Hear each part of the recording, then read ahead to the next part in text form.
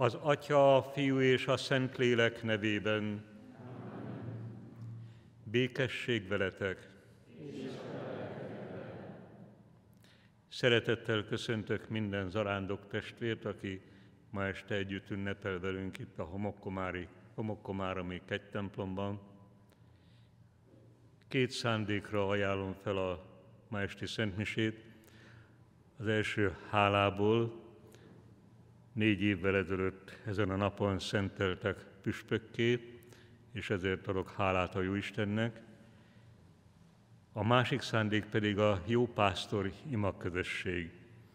Az egyházmegyében működik, több mint 500 tagja van, akik azt vállalták, hogy rendszeresen imádkoznak és felajánlást tesznek, áldozatot hoznak papi és szerzetesi hivatásokért az Egyház megyében.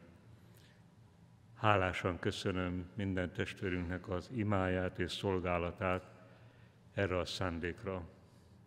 Testvéreim, vizsgáljuk meg lelki ismeretünket, bánjuk meg bűneinket, hogy tiszta lélekkel ünnepelhessük az Úr Jézus Krisztust,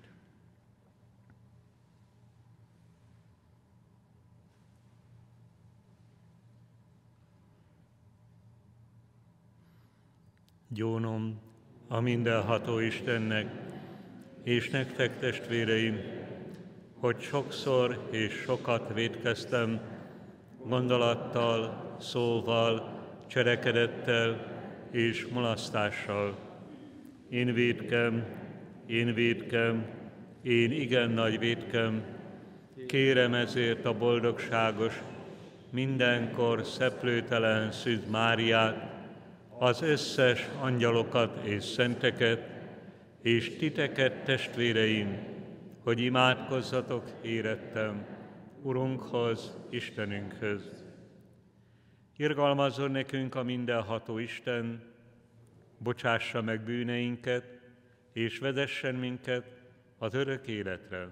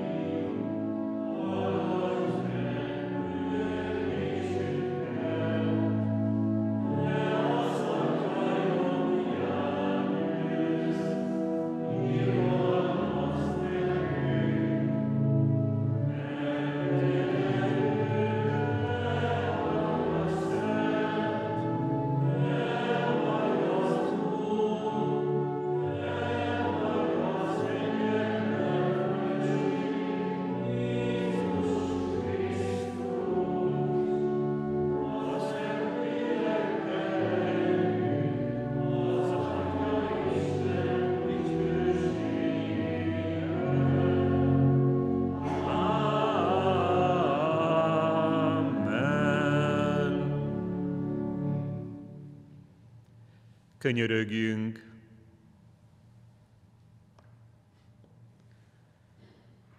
Urunk Istenünk, Te a boldogságos Szűz Máriát nekünk is anyánkul adtad. Segíts, hogy figyelmeztető üzenetét megfogadjuk, és az imádság szellemében még nagyobb odaadással munkálkodjunk a világ megújulásán és Szent Fiad országának eljövetele érdekében. Ami Urunk Jézus Krisztus, a Te fiad által, aki veled él és uralkodik a Szentlélekkel egységben, Isten mindöröktön örökké. Amen.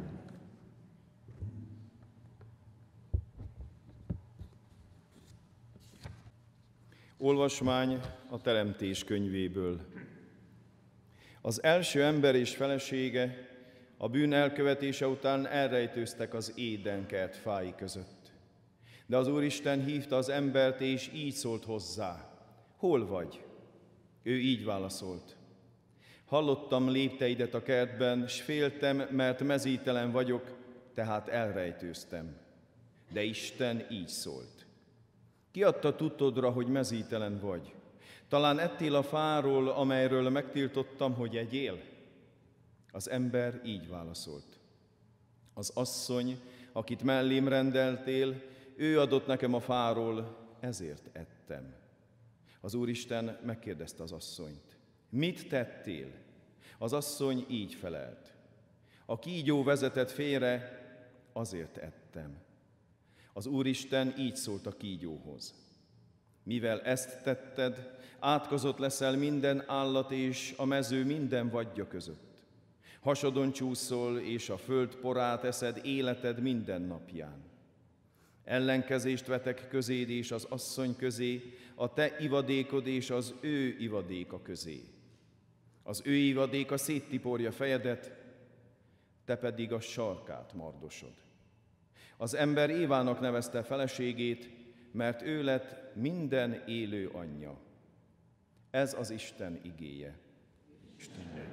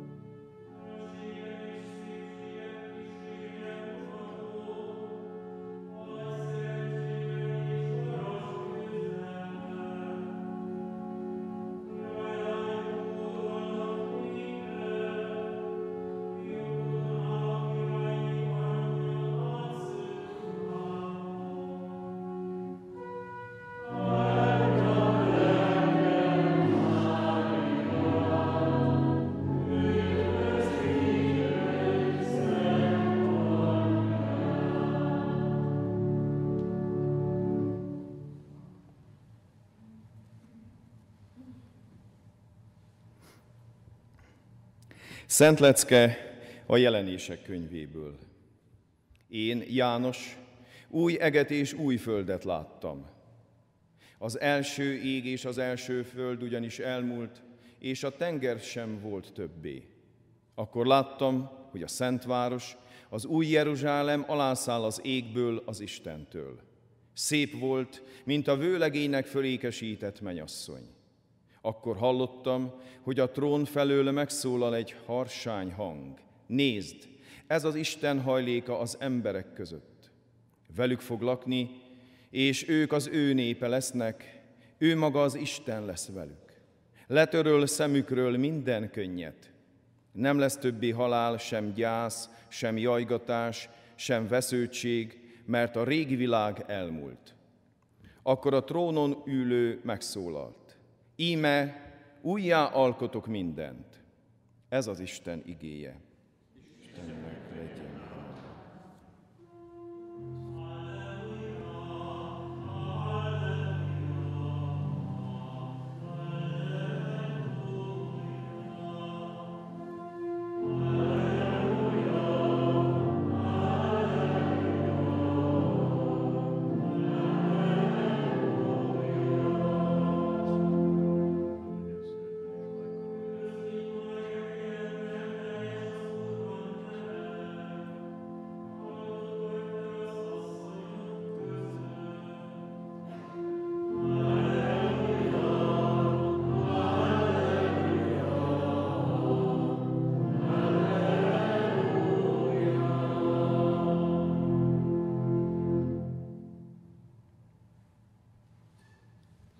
Az Úr legyen veletek!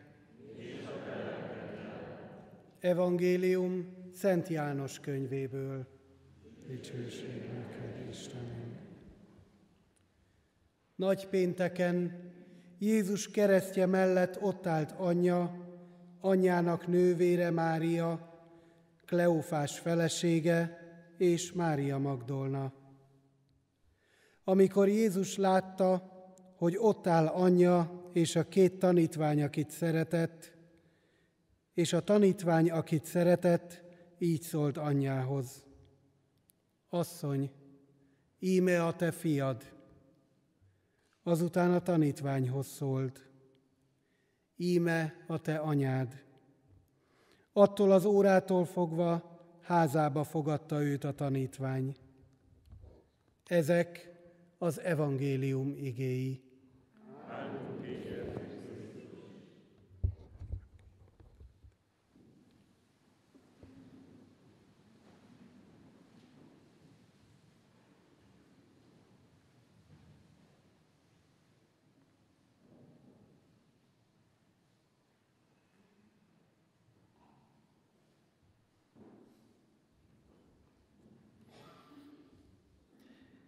40 évvel ezelőtt, 1981. május 13-án a Szentpéter téren egy merénylő halálos lövéseket adott le az akkori pápára, második János Pál pápára. A Szent Atya csodálatos módon életben maradt, és az életbe maradását a fatimai szűz segítségének tulajdonította, amit aztán egy külön zarándoklattal Fatimában meg is köszönt a szűzanyának, nem halt bele az egyébként halálos lövésekbe, ő úgy tekintett a szűzanyára, hogy az ő keze mozdította el a lövedéket abból az irányból, ami halálos lett volna. Miután a Szent Atya felépült, elment a börtönbe, meglátogatta a gyilkosát, és megbocsátott neki.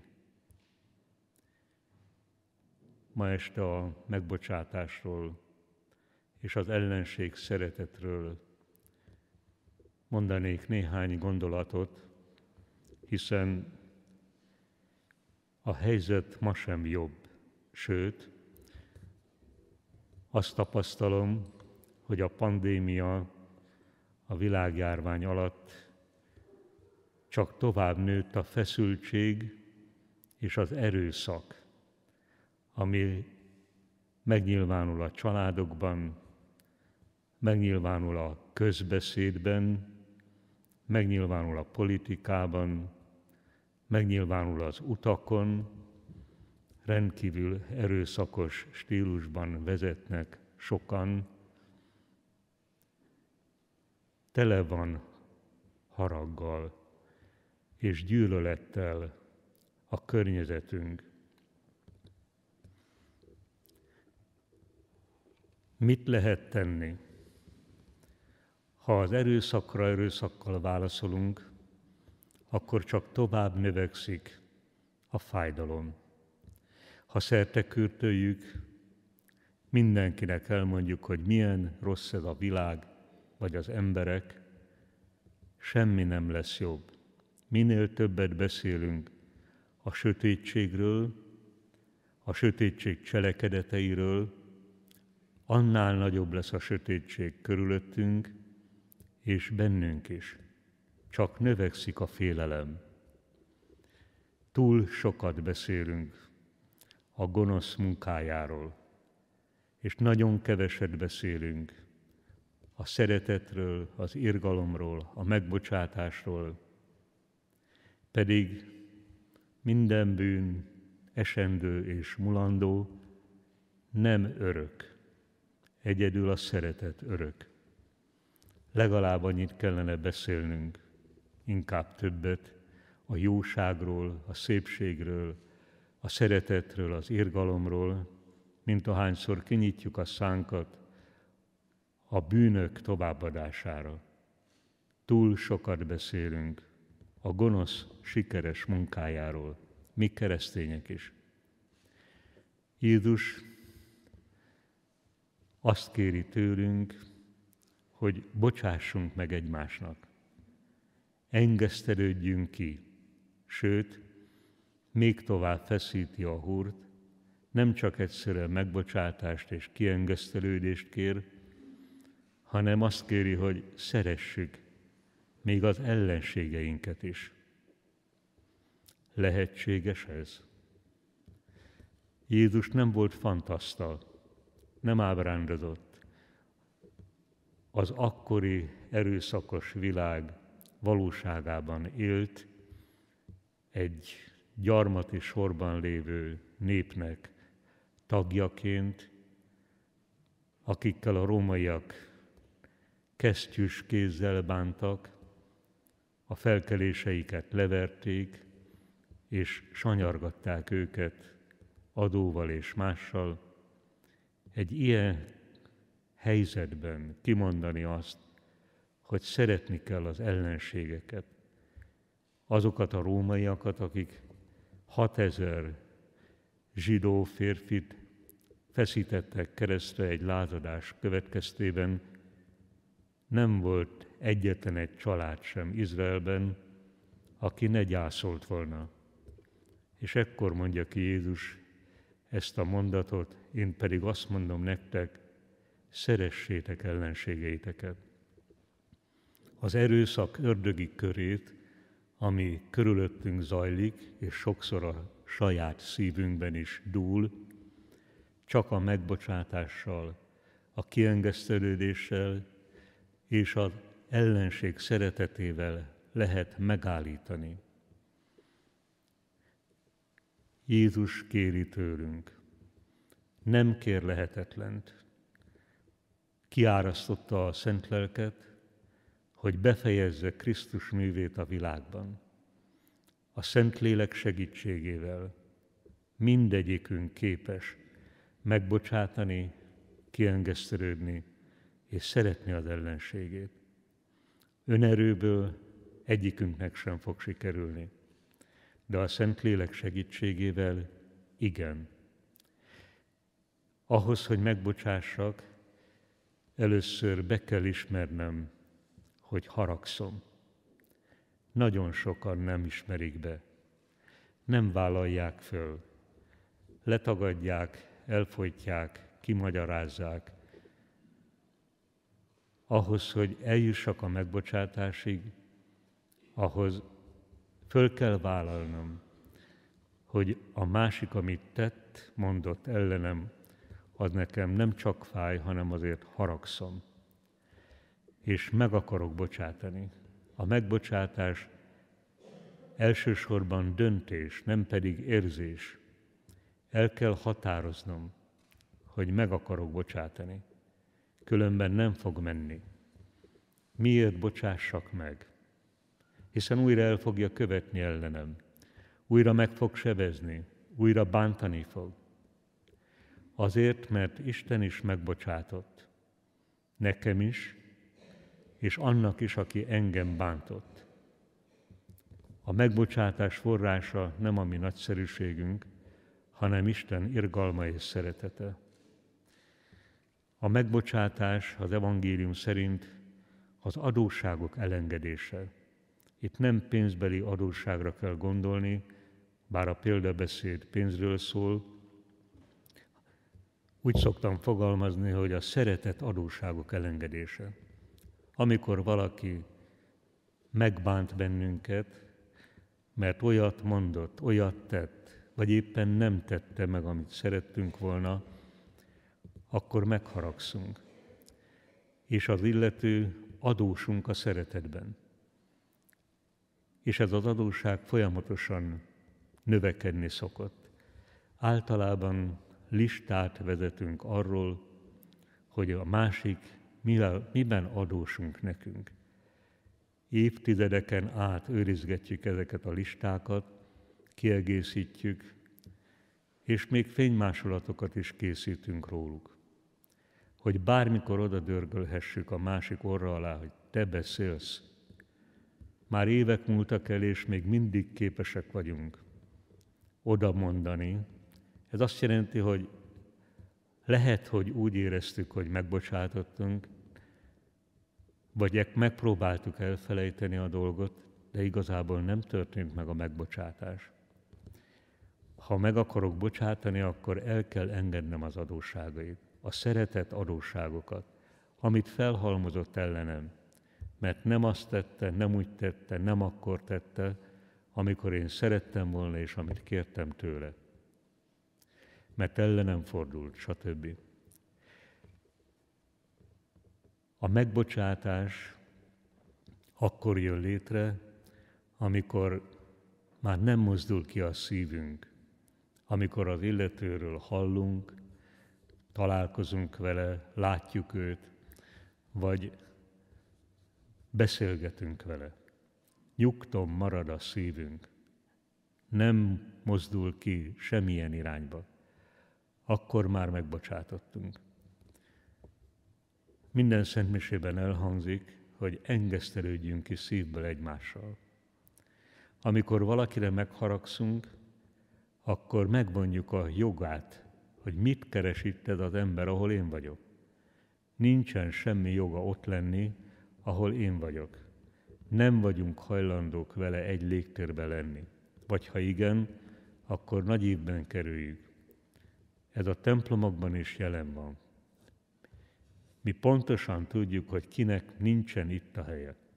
Mi pontosan tudjuk, hogy ki nem járhatna abba a templomba, ahova mi járunk, abba a közösségbe. És hát nem szeretnénk mellé ülni a misen. Mert bajunk van vele. Mert nem bocsátottunk meg. Amikor megbocsátunk és kiengesztelődünk, akkor egészen egyszerűen visszaadjuk a jogát az illetőnek, hogy egy levegőt szívhat velem. Szabad neki ott lenni, abban a közösségben, abban a templomban, abban az egyházközségben, abban a faluban, vagy városrészben, ahol én lakom. Újra jogot adunk neki arra, hogy létezzen.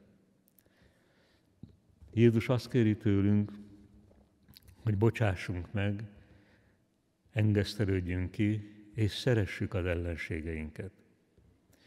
Az ellenség szeretet ugyanúgy, mint a megbocsátás azzal kezdődik, hogy föl kell ismernem, hogy ki az ellenségem. Itt nem azokra gondolok, akiket a politika vagy bárki ellenségnek nevez ki számunkra. Az ellenség az, akinek a jelenlétében megváltozik a viselkedésünk. Nem tudjuk önmagunkat adni elhallgatunk, izad a tenyerünk, torkunkba dobog a szívünk, megváltozik minden. Mert ott van valaki, aki az ellenségem. Ahhoz, hogy szeretni tudjam, ahhoz fel kell ismernem, hogy ki az ellenségem. Nem azért, hogy megalázzam, hanem azért, hogy szeressem. Különben nem tudom teljesíteni Jézus kérését, az ellenség szeretetre. Ha már tudom, hogy ki az, akkor két dolgot mindenképpen meg kell tenni. Le kell mondani a, a bosszúról. A bosszú legkifinomultabb formája a plegyka. Aki az ellenségünk, arról nagyon szívesen mondunk a háta mögött mindent. Plegykálunk. Ferenc pápa szerint a plegyka az gyilkos dolog, súlyos bűn, mert lehetetlené tesszük annak az embernek a szeretetét, akiről plegykálunk. Beültetjük a gyanút a másik ember szívébe, hogy el ne hitt, hogy ez olyan, ami látszik. A plegyka, a bosszú a részünkről. Ha elhatároztuk, hogy szeretni akarjuk az ellenségeinket, akkor abba kell hagyni a plegykát. Nem beszélhetek a másik emberről. Rosszat nem mondhatok róla. Akkor sem, ha azt gondolom, hogy ez az igazság. Mert nem visz előre bennünket. Le kell mondani a bosszúról, és ahhoz, hogy megváltozzon a szívünk, ahhoz gyakorolnunk kell az áldást. Jézus azt kéri, amikor az ellenség szeretetről beszél, hogy áldjátok üldözőiteket, és ne átkozzátok. Mondjatok áldást. Amikor áldást kérsz, áldást kértek a másikra és saját magatokra, az ellenségetekre és önmagatokra, akkor a kegyelemnek lehetőséget adtatok arra, hogy formálja a szíveteket, hogy gyógyítsa, hogy megváltoztassa a másik ember irányába. És ha hűségesek vagyunk ebben az áldásban, és hűségesek vagyunk az elhatározásban, hogy követni akarom Jézust, és szeretni akarom még az ellenségeimet is, akkor minden megváltozik. Ott, ahol élünk, megtörik az erőszaknak a hatalma a szívünk fölött és a kapcsolatainkban. Ott már nem kap teret a sátán. Ott már a Szentlélek kap nagyon nagy teret, és elkezdenek gyógyulni a sebek, amit a harag, a gyűlölet, az ellenségeskedés vágott a szívünkbe, vagy a másik szívébe. És láthatóvá válik Isten országának az igazsága, békéje és öröme a Szentlélekben. Szent második János Pál pápa tanúságot tett nekünk arról, hogy mit jelent megbocsátani a gyilkosának, és szeretni az ellenséget. A szüzanya azt kéri tőlünk, mindenhol, ahol megjelent a világon, hogy térjünk meg, hogy változtassuk meg a szívünket, változtassuk meg a nézőpontunkat, változzunk meg, kezdjünk el az evangélium szerint élni. Köszönjük meg a szűzanya minden üzenetét. Köszönjük meg Szent második János Pál pápa példáját, és kérjük mindkettőnek a közbenjárását, hogy békességben, szeretetben, megbocsátásban, irgalomban tudjunk élni. Az Atya, a Fiú és a Szentlélek nevében.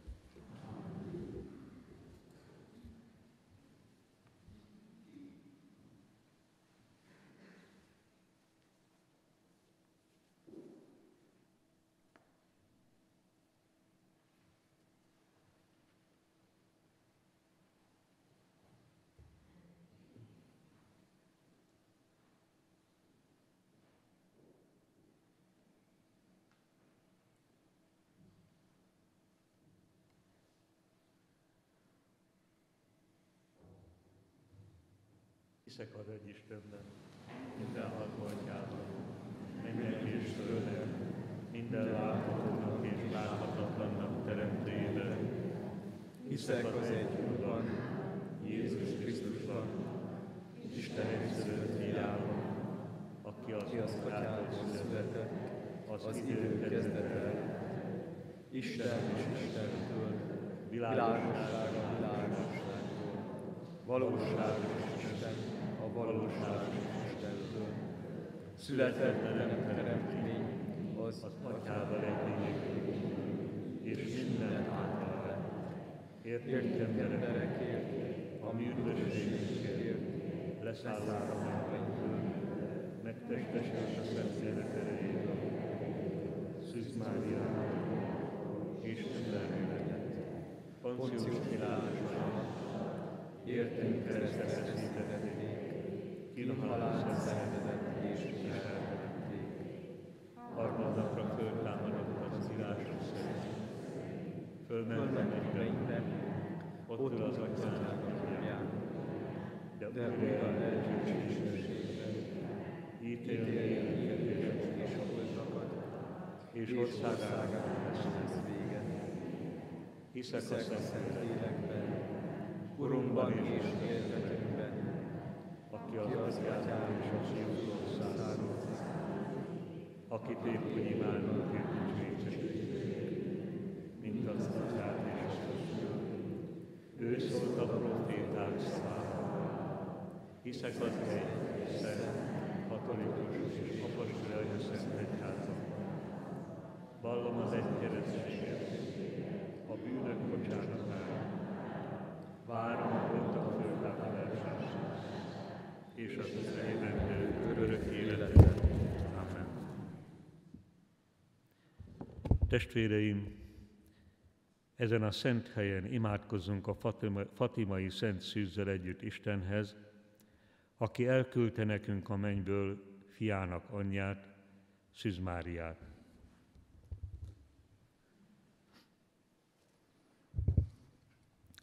Urum, ad kegyelmedet mindazoknak, aki az egyházban lelki hatalmat gyakorolnak, úgy üzenetednek, ne csak hű hallgatói legyenek, hanem az készségesen és mindig megújuló bizalommal hirdessé is. Bátoríts a népek vezetőit az emberek javának szolgálatára, hogy mindenki békében élhessen és igazságosan részesedjé a föld javaiból.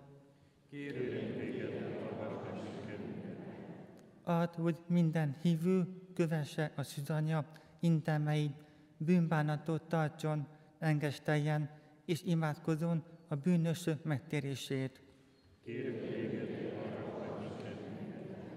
Segíts a szenvedőket, hogy Szűnt Máriának, a szomorú vigasztalójának pártfogásával elfogadják és hordozzák keresztjüket. A gyermekkorban kiválasztott Fatimai látnokok példájára és közbejárására segít az ifjúságot és készséges lélekkel kövesse a szüzanya üzenetét. Kérünk téged, hallgass meg minket. A Fatimai boldogságos Szűz Mária közbeállására adj meg az itt egybegyűjt közösségünknek, falunk, városunk lakóinak és egész népünknek, hogy imádságainak és engesztelő cselekedeteink kedvesek legyenek előtted. Kérünk téged, hallgass meg minket. Segíts, hogy amikor rózsafüzét imádkozunk, Krisztus és a szüzanya életének titkait szemléljünk és kövessük. Kérünk téged, hallgass meg minket. Jóságos atyánk, te azt akartad, hogy a szeplőtelen szívű szűzanya üzenetét gyermeki bizalommal fogadjuk. Engedd, hogy hitünk növekedjék, és kéréseink meghallgatásra találjanak, Krisztus, ami Urunk által.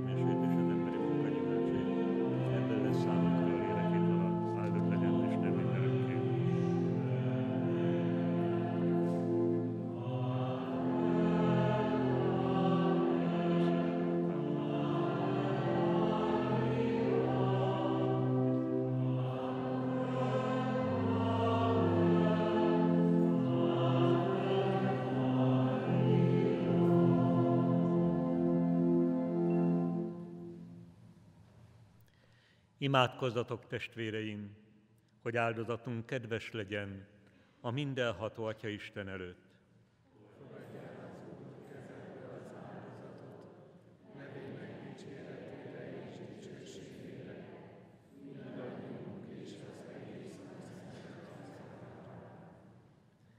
Istenünk a boldogságos Szűz Máriát ünnepelve bemutatjuk előtted a kiengesztelés és a dicséret áldozatát. Bocsásd meg irgalmasan bűneinket, és irányítsd magadhoz ingadozó szívünket, Krisztus, ami Urunk által. Amen. Az Úr legyen veletek. És Emeljük föl szívünket. Fölemeltük az Úrhoz. Adjunk hálát Urunknak, Istenünknek.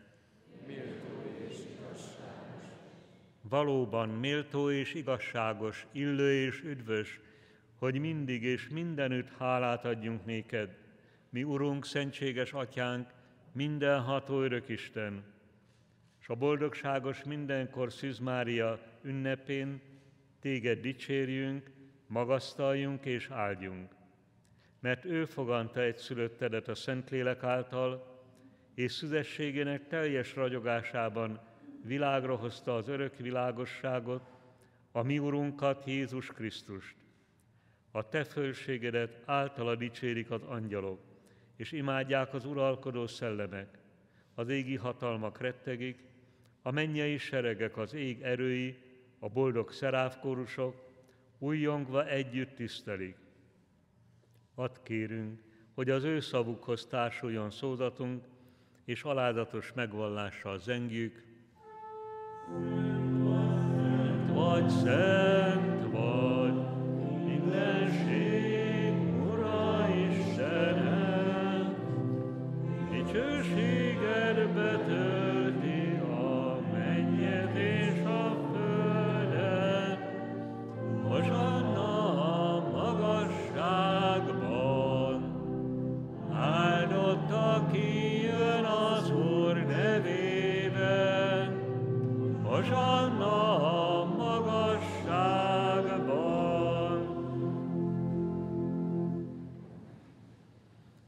Valóban szent vagy Istenünk, minden szentség forrása.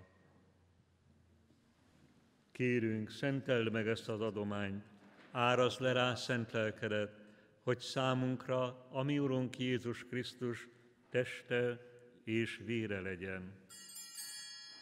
Ő, mielőtt önként átadta magát a szenvedésre, kezébe vette a kenyeret, hálát adott, megtörte, tanítványainak adta, és így szólt. Vegyétek, és egyetek ebből minnyájan, mert ez az én testem, mely értetek adatik.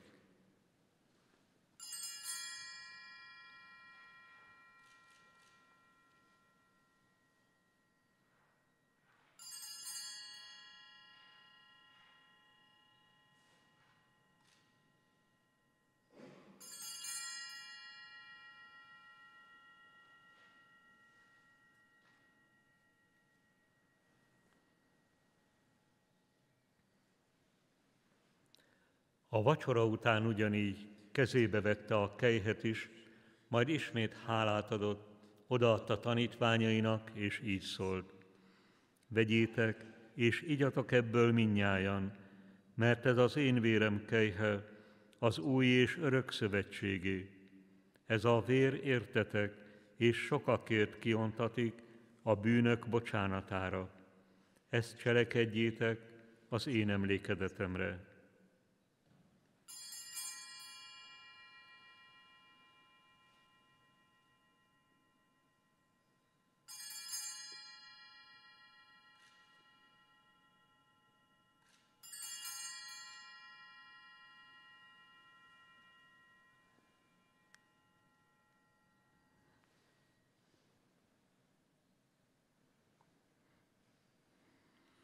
Íme hitünk szent titka.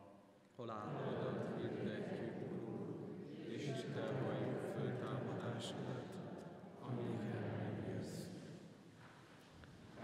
Ezért fiat halálának és feltámadásának emlékét ünnepelve felajánljuk néked, Istenünk, az élet kenyerét és az üdvösség kejhét, és hálát adunk, mert arra méltattál minket, hogy színed előtt állhatunk és szolgálhatunk neked. Kérve kérünk, gyűjtsön egybe a Szentlélek minnyájunkat, akik Krisztus testében és vérében részesülünk. Visel szíveden, Urunk, egyházat sorsát az egész világon. Tedd tökéletessé a szeretetben Ferenc pápánkkal, László és Béla püspökeinkkel, és az egész papsággal együtt. Emlékezzél meg a föltámadás reményében elhunyt testvéreinkről, és mindazokról, kik irgalmadban bízva távoztak el a világból, bocsásd őket szent színed látására. Könyörülj, kérünk minnyájunkon, hogy Isten anyjával, a boldogságos Szűz Máriával, Szent Józseffel, az ő jegyesével, a szent apostolokkal és minden szentel együtt, akik a világ kezdete óta kedvesek voltak előtted, részesei lehessünk az örök életnek, és dicsőítve magasztaljunk téged, Jézus Krisztus, a te fiad által.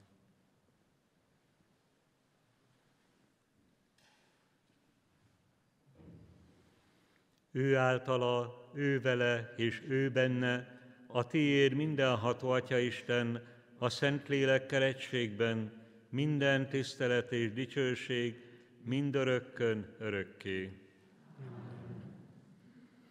Ha Krisztussal feltámadtunk, Isten gyermekei vagyunk, ezért bizalommal így imádkozunk, mi atyánk, aki a mennyekben vagy, szenteltessék meg a te neved, jöjjön el a te országod, legyen meg a te akaratod, amint a mennyben, úgy a földön is. Minden napi kenyerünket add meg nekünk ma, és bocsásd meg védkeinket, miképpen mi is megbocsátunk az ellenünk védkezőknek, és ne vigy minket kísértésbe, de szabadíts meg a gonosztól. Szabadíts meg, kérünk, Urunk, minden gonosztól. Adj kegyesen békét napjainkban, hogy irgalmadból mindenkor bűn és baj nélkül éljünk, míg reménykedve várjuk az örök boldogságot, és üdvözítőnknek Jézus Krisztusnak dicsőséges eljöttét. Mert tiéd az ország, a hatalom és a dicsőség mindörökké. Feltámadása után Jézus így köszöntötte tanítványait, békesség nektek. Ezért kérjük, Urunk Jézus Krisztus, Te legyőzted a bűnt és a halált, ne védkeinket nézed, hanem egyházat hitét. Őrizd meg szándékot szerint békében, add meg teljes egységét, aki élsz és uralkodol, mindörökkön örökké. Az Úr békéje legyen veletek mindenkor. És a te lelkeddel. Engesztelődjünk ki szívből egymással. Legyen békesség köztünk mindenkor.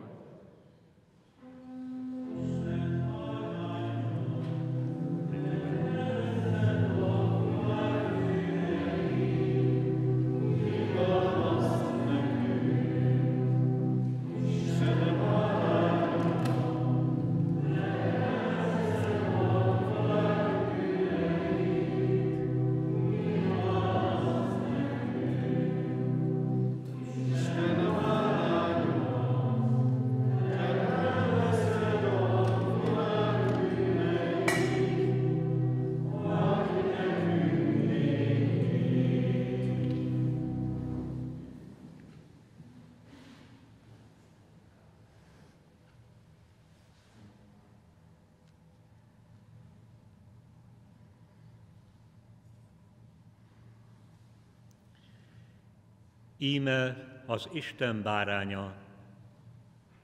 Íme, aki elveszi a világ bűneit.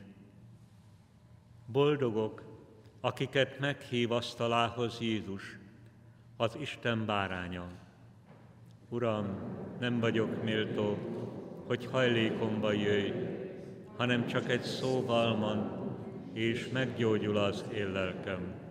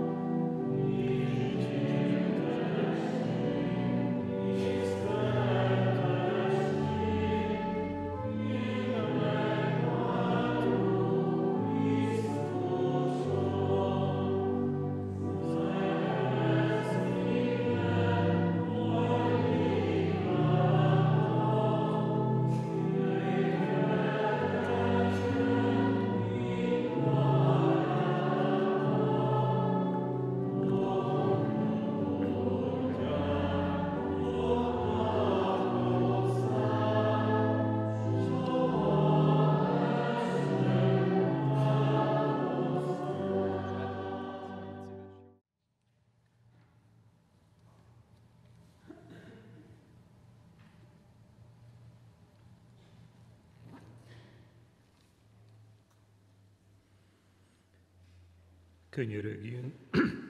Urunk Istenünk, mi, akik a boldogságos Szűz Mária személyében fiad és az egyház anyját tiszteljük, örömmel vettük magunkhoz a legszentebb oltári szentséget. Add, hogy az örök élet kenyere segítsen el minket az üdvösségre, Krisztus, a mi Urunk által.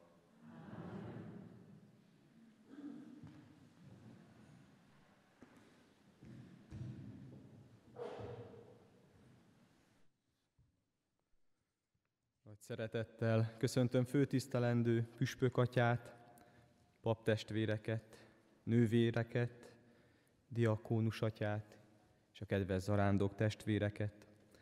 Hála van az én szívemben is, nem csak amiatt, hogy püspökatya nálunk adott hálát és ünnepelte szentelés évfordulóját, hanem azért is, mert a vírus visszahúzódásával egyre biztonságosabb körülmények adódnak, hogy újra közösen tudjuk ünnepelni az Eukarisztiát, Urunkat, Jézus Krisztust, és lehetőséget ad arra is, hogy édesanyját, a boldogságos szűzanyát kegyhelyein is tiszteljük. Megköszönöm Püspök atyának személyesen is, és a kedves testvérek nevében, hogy eljött ismételten közénk, és itt adott hálát a fölszentelésért, hogy a Szentlélek apostol utódnak jelölte ki.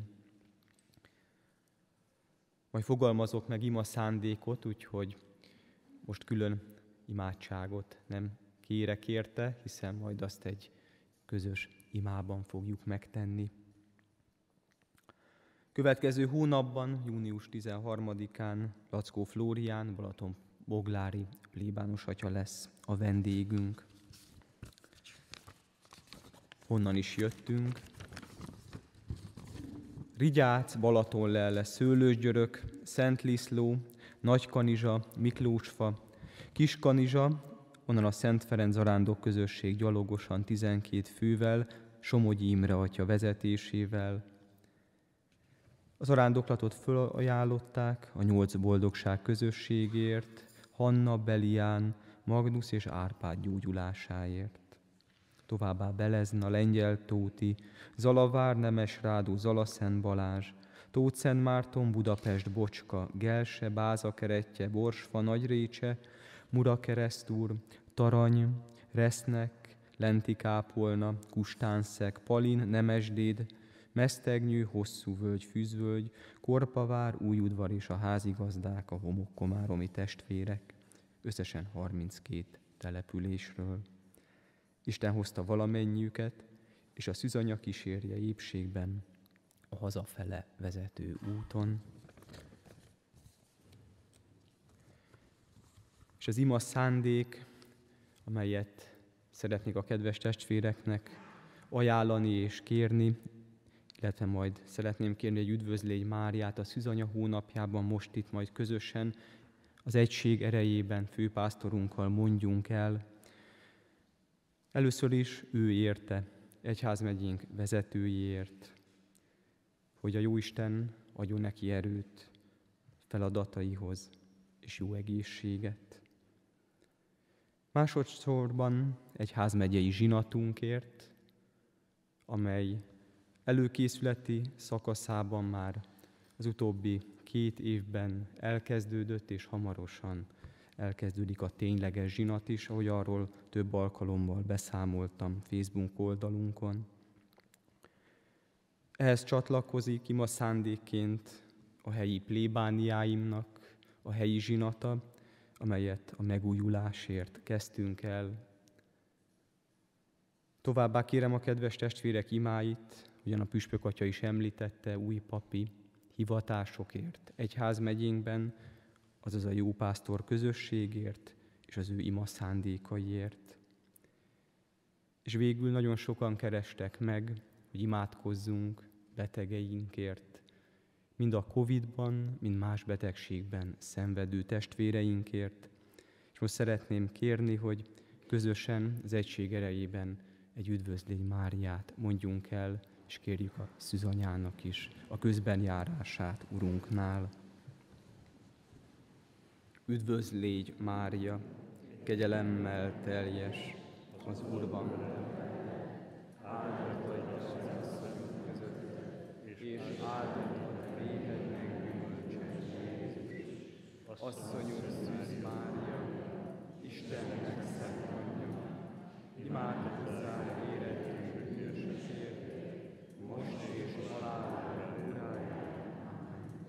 Az Úr legyen veletek. És a Legyen áldott az Úr neve. most és Az Úr a mi segítségünk. aki az eget és a földet tartotta. Áldjon meg benneteket a mindenható Isten, az Atya, a Fiú és a Szentlélek. A Szent Mise véget ért, mondjunk áldást az Úrnak. Isten